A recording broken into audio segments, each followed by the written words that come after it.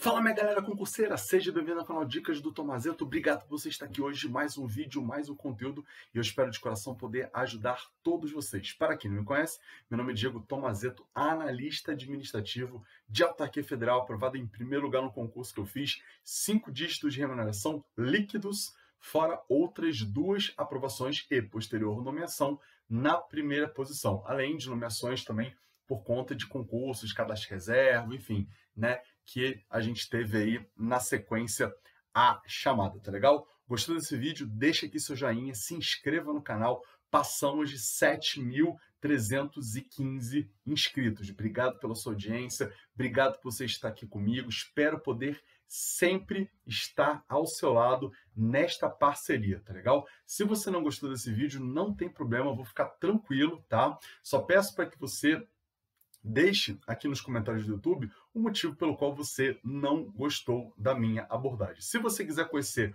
um pouquinho mais do meu perfil, eu te convido a assistir algumas entrevistas que foram dadas para o GRAM, para o Estratégia. Deixei todos os links aqui na descrição deste vídeo, tá legal? E aos pouquinhos, galera, eu vou passando alguns recados interessantes para fins de aproveitamento do nosso conteúdo, tá legal? Galerinha, é o seguinte, o que, que eu estou pensando é, neste presente dia para mostrar para você? Olha só, é, esse vídeo é, ele serve para pessoas avançadas, pessoas que estão no nível bom e querem sair daquela rotina, ah, eu sou candidato aprovado, né? Fui lá, fiz a prova, né? Tive um resultado maneirinho, né? Aí eu tive minha discursiva corrigida, só que aí aquele negócio, ah, eu fiquei em, sei lá, 50, 60 e chamaram é, no prazo de validade do concurso tipo 20, entendeu? E eu acabei ficando ali, né, na beira da praia, não consegui chegar,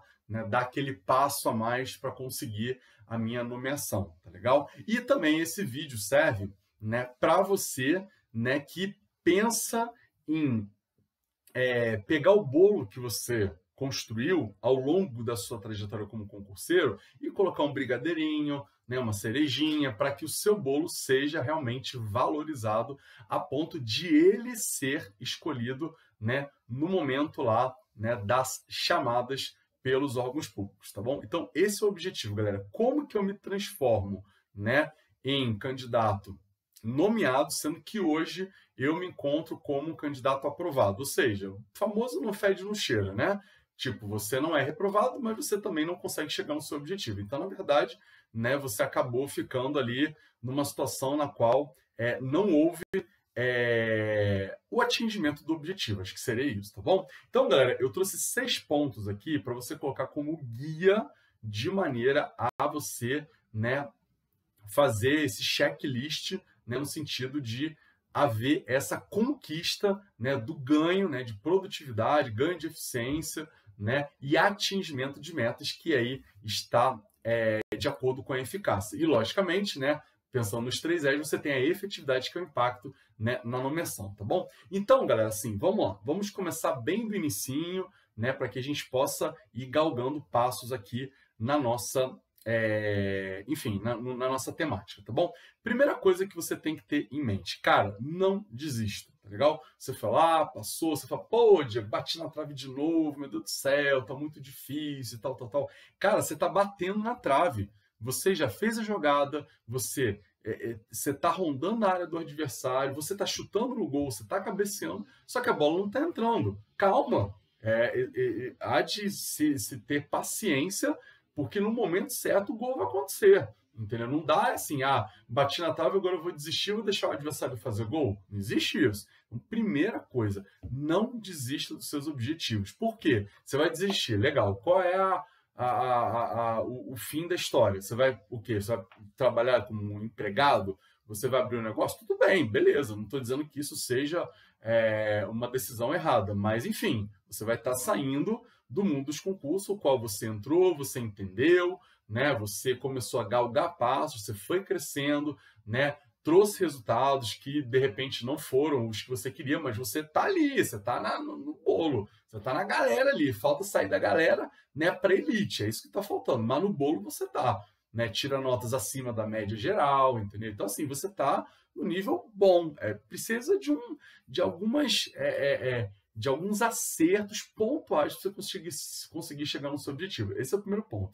Segundo ponto, galera, resiliência, tá? Eu não vou desistir, mas beleza, eu não vou desistir, aí eu vou fazer o quê, né? Ah, fui lá, fiz o concurso, aconteceu exatamente o que eu falei para vocês. Fiquei em 50, só chamaram 20. Aí eu tô, tipo, nocauteado. Então, o que, que você tem que fazer? Você tem que levantar, colocar a sua sandália da humildade e continuar, né, acreditando que é possível, né, você chegar no seu objetivo, tá? Você precisa ter essa resiliência. Por quê, cara? Você vai apanhar uma vez, duas, três, quatro, dez vezes, entendeu? Ou mais do que isso, e ainda assim você precisa entender que o caminho é esse, não existe outro, não existe segredo, não existe sacanagem, não existe caminho curto, tá? Não existe isso, existe meritocracia, tá? E a tua hora vai chegar, tá? Eu tenho certeza disso. Eu, a minha hora já chegou, eu não sou nenhum absurdo, vocês estão vendo aqui, ó, tenho carne e osso, tá? Não tem nada é, é de, de, de absurdo, só que existe um esforço, existe uma responsabilidade, né?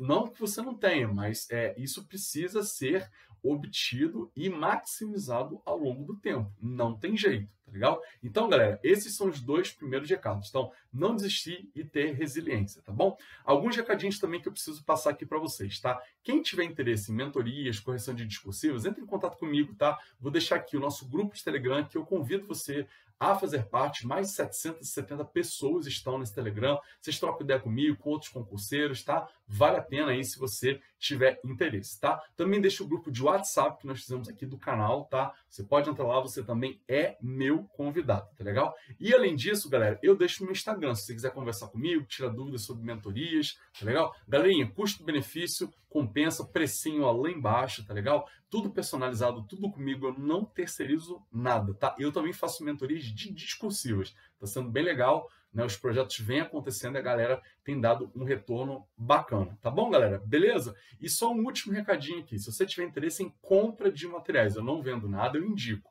Já estive pelo Gran, pelo Estratégia, pela Direção, são três materiais ótimos que eu posso é, é, garantir para vocês que vocês terão aí é, um material de altíssima qualidade, tá? O é mais em conta, sem dúvida, tá? É, ele tem assinatura ilimitada, você pode dividir entre logins, aí o preço fica bem mais em conta em relação a uma assinatura individual, tá legal? Então, se você tiver interesse, tem o, o link aqui, se é só você clicar nele, já vai direto para a página do Gran, tá? Galera, Direção também tá com materiais excelentes, tá? Eles estão com assinaturas a preços bem interessantes, pelo menos no momento, tá? É, tanto de assinatura ilimitada, que é aquela essencial, você paga menos de 100 reais, como também assinatura vitalícia e também assinatura vitalícia você encontra lá no Estratégia, tá bom? A preços muito interessantes, então vale a pena você conferir, tá legal? Tudo bem até aqui, galera? Beleza? Então falamos de não desistir e de resiliência. Beleza, tá bom, Diego. Agora, tranquilo, eu sei que eu não preciso, eu não posso sair do jogo. Ok, o que, que eu preciso fazer agora? Tá, então vamos lá. É, eu vou dar um exemplo aqui e aí a gente vai por ele trabalhando aos poucos, tá? Até porque é a área que eu particularmente mais domino, é a área que eu mais gosto, tá bom? Então, galera, o que que acontece, tá? É, primeira coisa que você precisa fazer é um diagnóstico da sua situação, tá? Que, que, que seria isso? Tá, então eu fui lá, fiz o concurso, tipo, foi isso, né? Fiquei entre os 50 primeiros, só que não fiquei entre os 20 primeiros que foram nomeados quais foram as matérias, tá? Que se você pegar e falar assim, Diego, essas matérias aqui são boas e essas matérias aqui não são tão boas. Você precisa fazer esse diagnóstico, essa autoavaliação. E eu, na mentoria, faço isso com todos os meus alunos, tá bom? Então, beleza. Eu tenho a matéria boa, a matéria melhorar. Na matéria melhorar, que é o que me interessa, quando eu faço mentoria, eu falo muito, muito claramente isso, eu preciso entender o seguinte, cara Nessa matéria melhorar, é a matéria ou as matérias a melhorar, né? São elas que eu preciso dar uma maior ênfase nos meus estudos. Ou seja, se você tem quatro horas de estudo por dia, logo é, colocando aí por semana 28 horas, né? Você tem que reservar boa parte dessa carga para matérias que você tem mais dificuldade. E, logicamente, quanto mais carga você der para essas matérias, mais carga você tem que dar para a revisão, mais carga você tem que dar para a resolução de questões, tá legal? Outro ponto, cara, pelo amor de Deus, eu sei que isso é normal, eu sei que isso é do ser humano. Não fuja do conteúdo. Não adianta, o conteúdo vai estar tá lá. Ele vai ser cobrado na sua prova. Se está no edital, a probabilidade de ser cobrado na sua prova é gigantesca. Não adianta, tá? Ah, eu tenho 10 matérias, eu vou me garantir em 8. É exatamente esse problema. Você se garante 8, são as 8 boas, e tem duas que estão te derrubando, e você não dá a devida atenção. Aí sai o edital, você começa a ficar desesperado, não faz as questões, né? não segue né, os PDFs ou videoaulas do cursinho do seu interesse. E aí o que, que acontece? Vem o desespero, você não aprende, tá? E aí chega na prova, você comete os mesmos erros, tá legal? Concurseiro nomeado tem que estar assim nas matérias, tá? Tem que estar com uma uniformidade nos resultados. Tem que, ter, tem que ser bom em todas, não tem jeito. Ou então, sei lá, no Receita Federal da Vida, que a prova foi sinistra, você tem que ter pelo menos o mínimo em todas aí para você estar tá na briga. Então, é, é, é uma outra abordagem. Mas, de qualquer maneira, você tem que estar no nível bom em todas as matérias. Concorda comigo? Então, precisa ter isso. Ah, Diego, eu sou ruim em economia. Bicho, pega economia e faz o negócio acontecer. Ah, não, Diego, eu sou que nem um aluno meu hoje que eu fiz mentoria. Ah, eu sou ótimo em economia, mas os direitos eu não tô legal. Cara, tem que focar no direito, não tem jeito. Nem que no método da força bruta e no método da decoreba da osmose, você entenda aquilo ali e marca o X no lugar certo. Tá? E resolve tua vida. Beleza? Então, isso você tem que ter em mente, tá bom? Além disso, galera, dentro do diagnóstico, você tem que fazer análise dos tópicos de cada matéria. Às vezes, o cara fala assim, ah, mas eu sou ruim naquela matéria. Tá, mas tem, sei lá, 10 tópicos. Tu é ruim nos 10? Ou você é ruim, sei lá, em 6? Ah, melhorou. Então, tipo, eu sou ruim em 6 e, é, e 4 sou bom. Por exemplo, direito constitucional. Eu manjo bem de direitos sociais, né? manjo bem de nacionalidade, manjo de é, poder legislativo. Agora, pô, poder executivo com toda de constitucionalidade, cara, aí a coisa já não é legal. Então é nesse ponto, nesses pontos que você precisa dar a devida atenção, tá legal? E nos outros pontos que você tem mais facilidade, galera, é basicamente você pegar, fazer questões de revisões, questões de revisões, questões de revisões. Você também não pode deixar de estudar aquela matéria que você sabe, só que a abordagem é outra, a carga horária é outra, a visão daquela matéria é outra. Ah, Diego, mas essa matéria ela é a que dá mais pontos no concurso. Velho, beleza, mas assim, na minha visão, é, você precisa dar atenção maior àquela matéria que você tem dificuldade, tá? Por quê? Ah, mas essa matéria que eu tenho mais dificuldade, ela não dá tanto ponto, mas ela pode ser né, uma vantagem competitiva, ou então é, é uma matéria que você acaba tirando a diferença para o teu concorrente, porque de repente assim, ah, eu tô pior nessa aqui, aí nessa aqui eu tô nesse nível e meu concorrente está aqui, tá? Mesmo que seja uma matéria básica.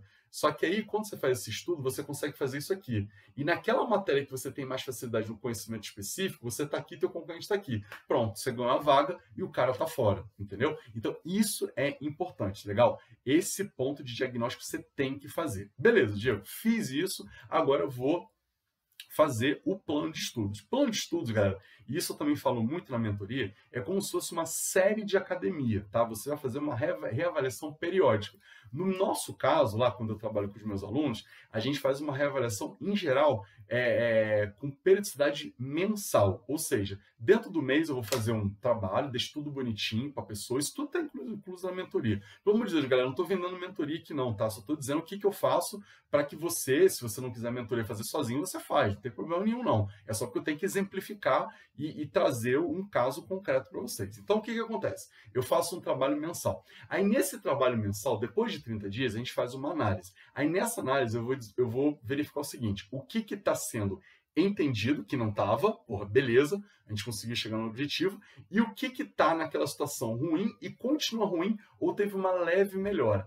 Esse ponto eu preciso continuar trabalhando, eu preciso verificar novamente, ver. Aí eu, eu, eu, eu, até indico outros materiais, outros professores da mesma disciplina. É aquele negócio, você é, estuda por aquele professor e não está dando certo, você vai em outro professor que dá a mesma coisa, só que outras palavras. De repente dá certo para você, tá legal? Essa é uma jogada interessante você precisa também ter em mente, tá bom?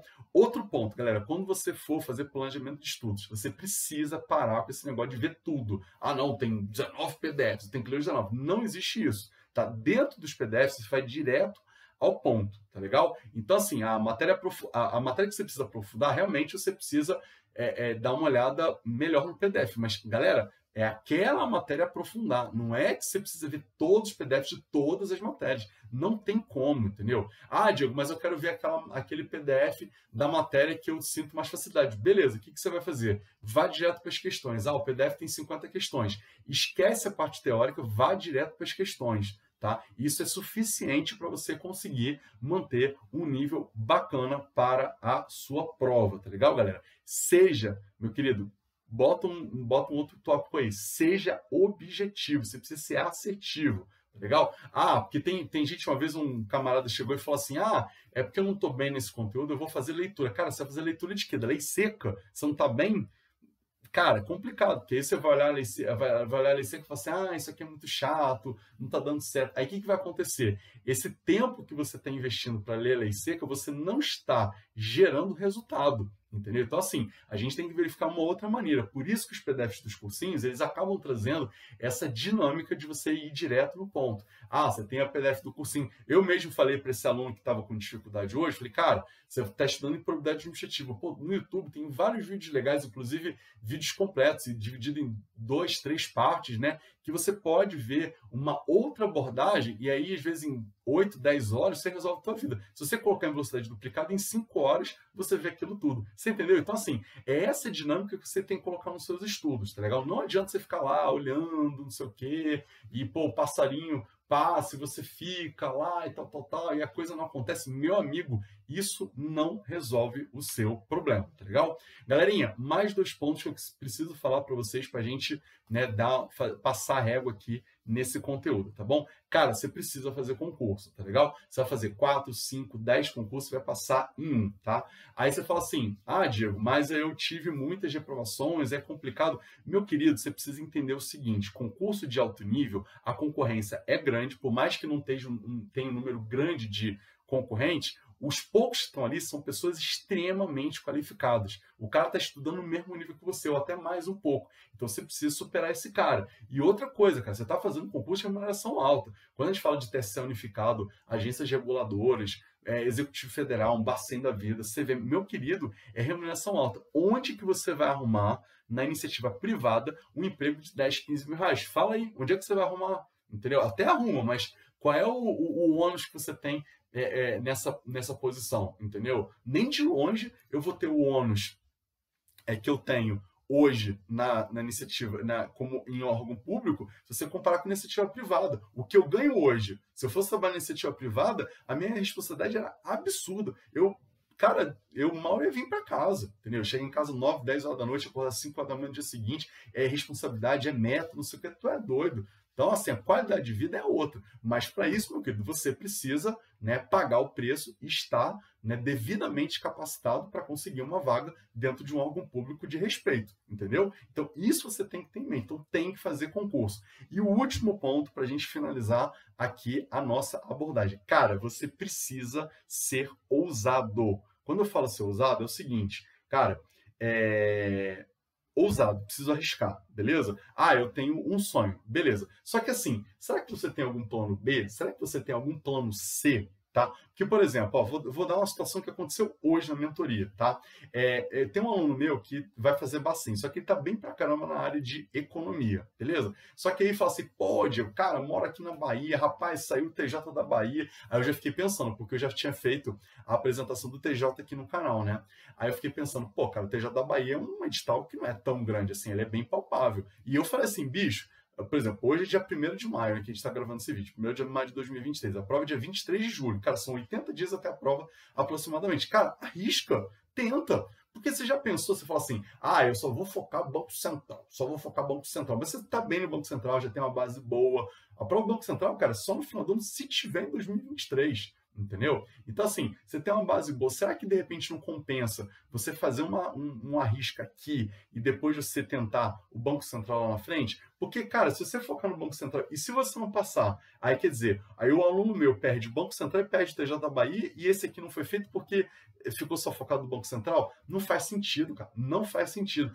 Alunos meus falam assim, Diego, eu quero fazer TSE unificado, mas vai ter o TJ de Minas. São matérias parecidas. Lógico, TSE tem o direito eleitoral. Será que vale a pena fazer? Claro que vale. Claro que vale. Entendeu? Você tem duas chances, cara. Mesma coisa, ah, o cara vai fazer área de controle, né? No caso, tivemos semana passada prova da CGDF. Na semana anterior, teve prova do CNMP. Os editais eram relativamente parecidos. Tem uma regula né, uma regulamentaçãozinha de CNMP aqui, tal, tal, tal, mais específica, que é normal em concurso, velho, dá para fazer? Dá, várias pessoas fizeram isso. Várias pessoas fizeram CGDF de planejamento, CGDF de é, é, é, de finanças e controle, que você tinha uma contabilidade muito pesada. Né? Na área de planejamento, você tinha já uma área mais administrativa. Compensa fazer as duas? Claro que compensa, cara. É aquilo, foque em um e vai no outro. Entendeu? Agora, galera, tem que arriscar um pouquinho. Quem arrisca, não petisca. Você tem que focar em concurso? Com certeza eu falo aqui bastante. Só que assim, não dá para falar assim, ah, eu só quero esse concurso, deixa os outros. Você precisa ter prática de prova, sei lá, né? Você encarar aquela prova, né? Sala ruim, né? É, clima quente, fiscal enchendo o saco, entendeu? Aquele tempo de prova, você perdendo tempo no banheiro, você cansado, tendo que beber água, levar lanche, toda aquela logística, chegar cedo. Isso ajuda, galera. Ajuda, porque você fica no clima da prova e quando você volta para casa para continuar estudando, você fala assim, cara, vamos, vamos, vamos, dá certo. ainda mais quando você consegue um resultado bom, pode ser que não seja o resultado que garanta aí tua, tua naquele concurso que não é o teu foco, mas você fala assim, caraca, bicho, eu tô fazendo a coisa certa, tá dando certo, tem que seguir essa linha, entendeu? Então você vai seguir essa linha e vai dar certo. Eu tenho certeza, tá? Se você seguir né, esse guia que eu estou passando para vocês passo a passo, você vai conseguir chegar na, na tua nomeação, tá bom? Então, galera, acho que é isso o nosso papo de hoje. Espero que vocês tenham gostado, tá legal? Contem comigo, estou à disposição de vocês. Tenham uma excelente semana, estudem, não desistam, tá? Sigam firmes, porque vale muito a pena. Transformou a minha vida. Eu estava desempregado, eu não tinha mais condição nenhuma de entrar na iniciativa privada, porque meu salário era muito alto, eu não estava conseguindo inserção no mercado. E os órgãos públicos abriram as portas para que, de maneira, né, pela meritocracia, eu conseguisse né, os resultados que eu atingi até o presente momento e quem sabe eu atinja resultados ainda melhores. Tá legal, galera? Então é isso. Obrigado por hoje. Até a próxima. Um abraço. Valeu. Fui.